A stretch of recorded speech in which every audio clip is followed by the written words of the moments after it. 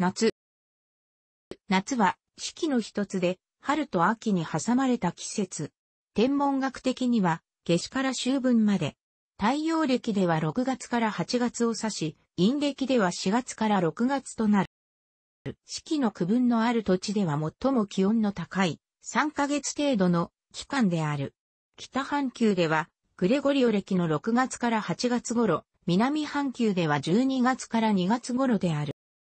夏の期間にはいくつかの定義がある。以下は北半球での定義で、南半球では半年ずれる。日本における夏の定義は中国歴の夏、主夜の定義の強い影響を受けた上、近代においてグレゴリオ歴に付随する欧米の文化的影響も受けて複雑な様相を呈している。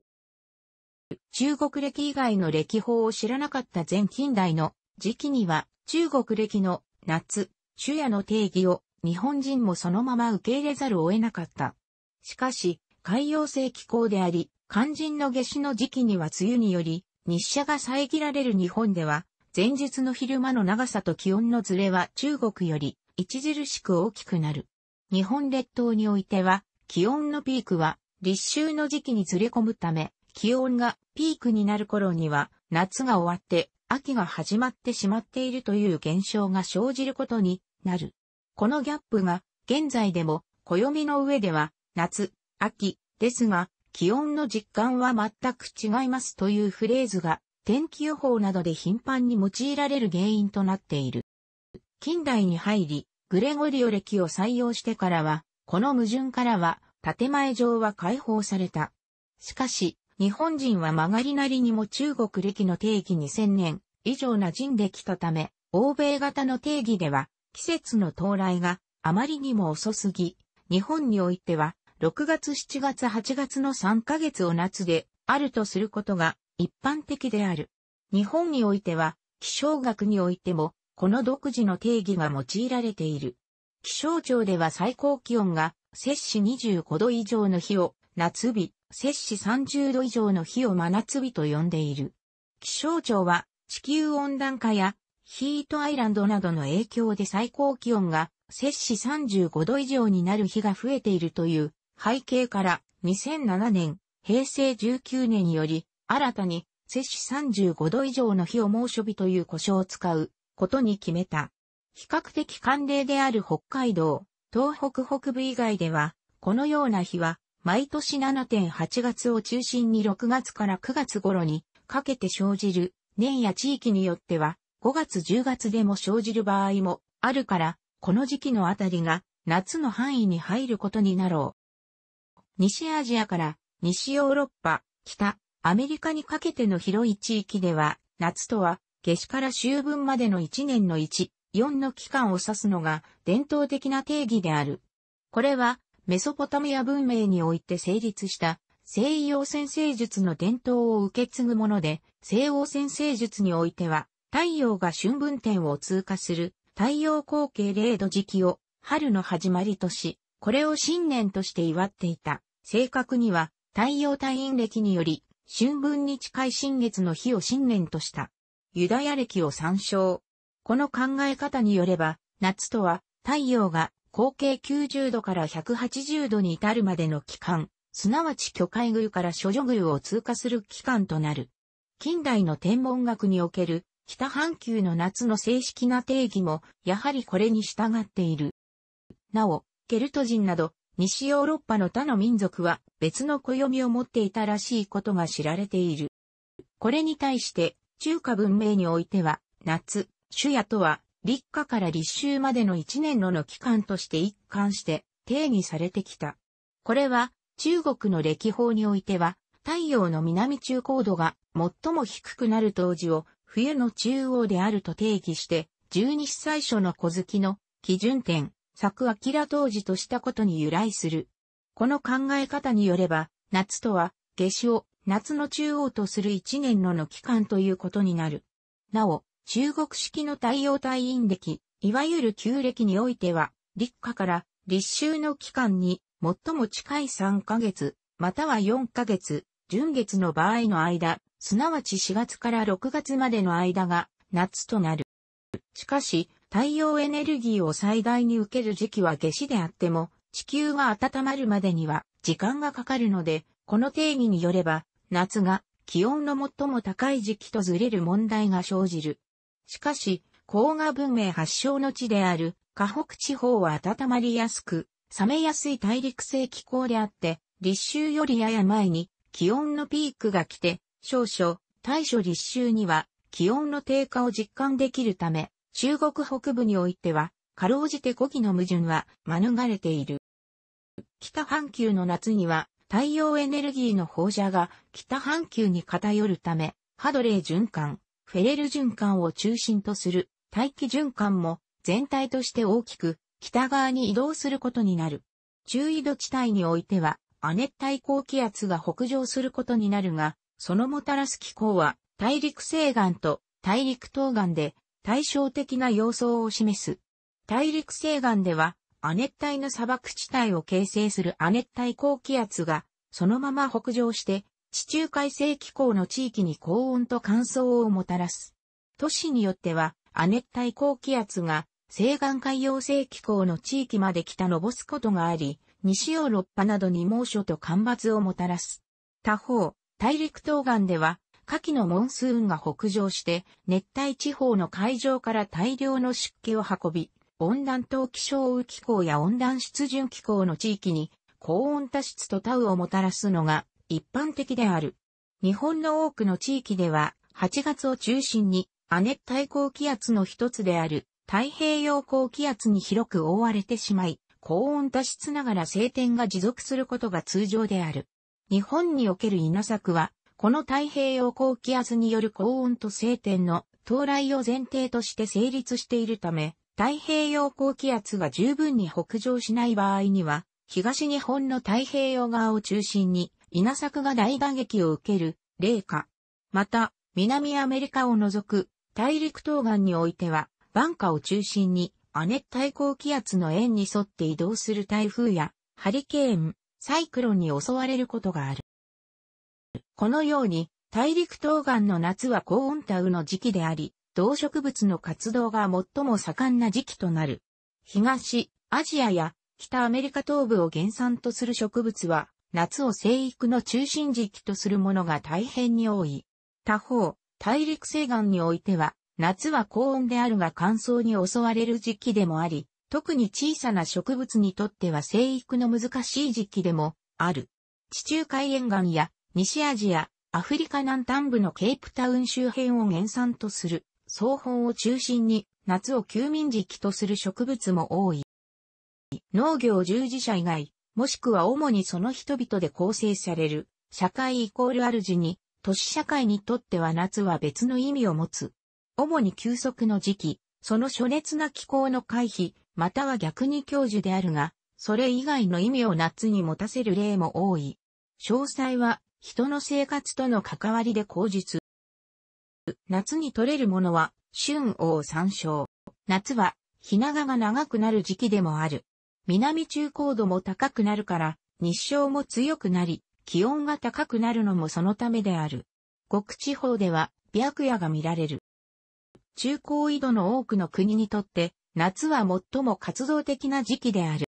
農業面でも重要な季節である。温帯では、実りの季節とは夏を終えた秋を指すことが通例である。ただし、大陸東岸においては、穀物、果実を含めたほとんどすべての作物の収穫の時期となった、大陸西岸では秋とはもっぱら果物の収穫時期であり、フランス革命歴、ブドウ月、夏の初めが麦類の収穫を祝い感謝する時期である。キリスト教、ユダヤ教のペンテコステ一般には他の季節に比べて人々が行動的になり、戸外活動などを積極的に行う時期であるが、真夏の過酷な暑さを避け屋内にこもる人々もいる。全般的には夏の初期を中心に消費活動も盛んになるとされるが、晩夏の時期は消費が鈍る時期であるとされる。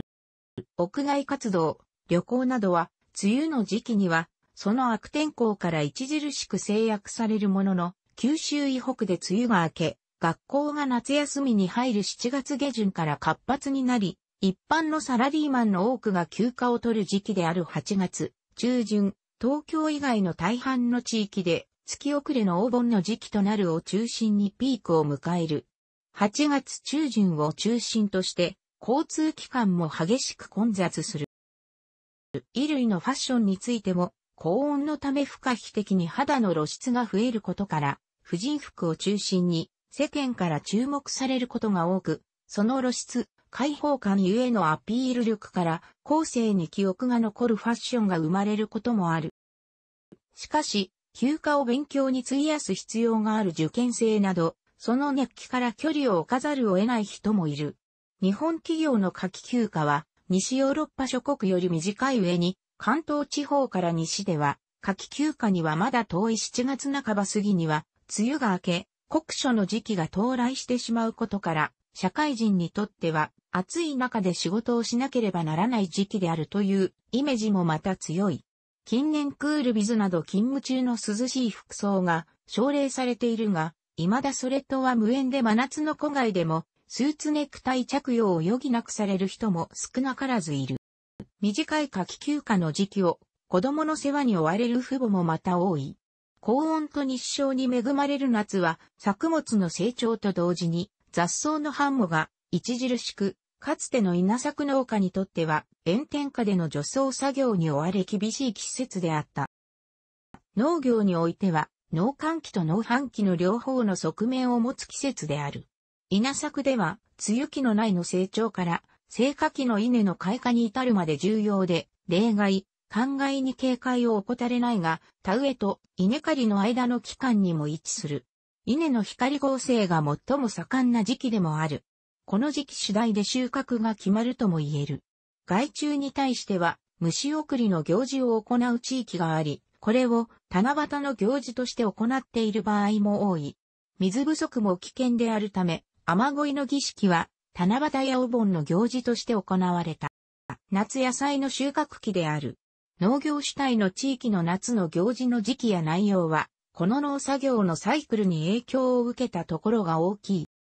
塔があるヨーロッパの人々は特に夏を渇望する。高緯度のため冬季には著しく昼間の短い上に悪天候の続く西ヨーロッパ、北ヨーロッパの諸国では夏は唯一の太陽の季節であり、20世紀以降、西ヨーロッパ諸国の労働者は長い夏季休暇、バカンスを取ることが通例となった。アルプス以北の諸国民は公園などで日光浴をしたり、さらに太陽と高温を求めて地中海方面などへ旅行に出かける者も大変に多い。地中海性気候の南ヨーロッパにおいても、冬は比較的温暖ではあるが雨が多く日照の少ない季節でもあるため、夏は太陽を求める重要な季節となる。スペインやイタリアなどでも、夏はバカンスの季節であり、労働者は休みを取って浜辺に繰り出す。また、スペインのサンフェルミン祭、牛追い祭りやイタリアの馬術の祭りなど、熱狂的な夏祭りも一部で見られる。アメリカ合衆国の場合、労働者の夏季休暇はヨーロッパほど長くないが、休暇の季節であることに変わりはない。また、学校は年度末にあたり、しかも6月には終業してしまうので、学校の夏休みは昇進証明の長期休暇となる。この時期に高校生から大学院生までエクスターン、アルバイト、ボランティア活動などの多彩な社会経験を行うことが通例とされている。欧米の大半のスポーツは秋に始まり初夏に終わるシーズンを採用しており、アメリカにおいても野球を除く多くのスポーツがシーズンオフになる。ヨーロッパにおいても共通であるが、このシーズンオフを使ってスポーツの国際大会が開かれることが多い。近年の夏季オリンピックが7.8月に開催されることが多いのは、こうした事情による。夏にかけて気温が上昇するにつれ犯罪は増える傾向があるが、アメリカの場合は銃の発砲が絡む治安の悪い都市では若者のギャング集団同士の縄張り争いが激化するといった特徴が加わる。これは暑くなると路上や歩道で過ごす時間が増え、若者同士の口論がエスカレートして、銃撃や殺人が起きやすくなるとする説がある。西アジアの夏は極度に暑く、人々は昼間は家にこもって夜に交際や買い物を楽しむ生活を送る。日中の気温は摂氏40度から摂氏50度に達することもあり、湿度も高く、夜になっても摂氏30度を下回らないことも多い。しかもほとんど雨が降らず、乾燥地帯では砂嵐が頻繁に発生するため、夏に不用意に出歩くことは生命の危険と直結する。インドなど南アジア、東南アジアでは夏はモンスーンによる雨季となり、雨季直前の酷暑期より気温が低下する。この雨季の降雨は南アジア、東南アジアの農業にとって生命線であり、国民にとっての気象に関する最重要関心事である。インドでは気象庁がモンスーンがインド半島のどこまで到来しているかを詳細に実況、予測して国民に提供している。その実況図はあたかも日本における桜前線のような形で描かれる。南半球の場合、クリスマスを夏の行事として行うオーストラリア他各国カーニバルが軽装の服装で行われるブラジルなど、など、ヨーロッパでの冬の行事を夏の行事として祝うことになる。北半球では夏の夜空で目立つのは天の川を隔てて向かい合うこと座と鷲座、その間にある白鳥座である。それぞれに含まれる一等星であるベガールタイルデネブを結んだものを夏王三角という。このベガを食女、アルタイルを堅固として、両者を夫婦とみなし、年に一度だけ出会える、という伝説が、七夕の言われである。南の空では、サソリ座が姿を現す。これは、冬のオリオン座と入れ替えに出入りすることで有名である。日本で炎天下に咲く花としては、ひまわりやサルスベリーが有名。夏の風物詩としては、朝顔も代表格。日本で夏本番と言われる7月8月はすでに日長が短くなり始める時期にあたり、その頃に咲く植物は往々にして単日植物である。鉱山では高山植物が一斉に花を咲かせる。夏の終わりには実をつけ、短い活動期間を終える。夏の思い出という詩には水芭蕉が出るが、春の花であり、夏には2メートルにもなる大きな葉をつけている。また、夏後半には高温と水不足のために植物の衰弱を起こす場合があり、時には落葉が起こる場合がある。日本の夏、成果に最も目立つのはセミである。大部分のセミが夏に出現し、それぞれに鳴き声を響かせる。鳴く虫は秋のものと考えられがちだが、キリギリスも夏が最盛期である。カブトムシやクワガタムシも夏のものと考えられている。クワガタムシには、成虫で年を越すものが多いが、カブトムシは、夏だけ成虫が現れる。他にも、スズメバチやカナブンなど、様々な昆虫が、樹液の発酵したものに集まるので、昆虫の場所通り合戦が見られる。子供の昆虫採集の目当ての一つでもある。もっとも、夏の森には、昆虫は少なくなり、昆虫採集家はこれを俗に夏枯れという。昆虫の一番、多い時期は初夏である。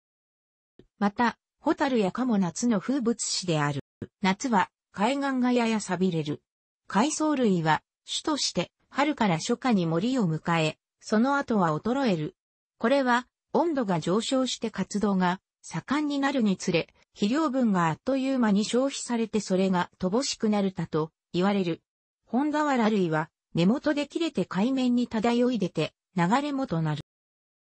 他方、日本では黒潮の影響が強くなり、初夏にはカツオが森となる。夏後半にはさらにカツオのエボシなどが沿岸に近寄るようになる。また、ウミガメが産卵のために海岸にやってくる。